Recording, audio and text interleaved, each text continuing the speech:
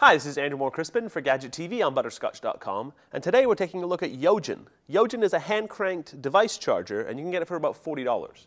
And what it is, as we said, a hand-cranked device charger.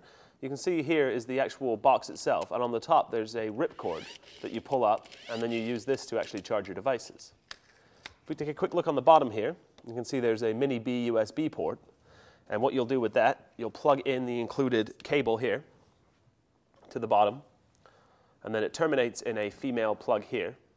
And there are two uh, male tips in the, um, in the box. This is the Mini B USB tip. There's also a, an iPod tip that we didn't uh, actually remember to bring to the studio today. There's also another model that includes tips for Nokia and I believe Sony Ericsson and a couple of other uh, devices.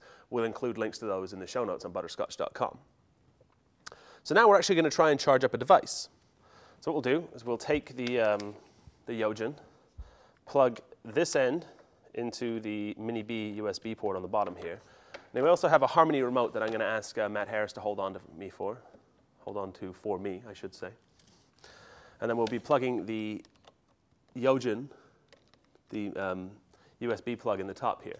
Now you'll see that as soon as I start cranking, we'll actually start to get some power coming to the device.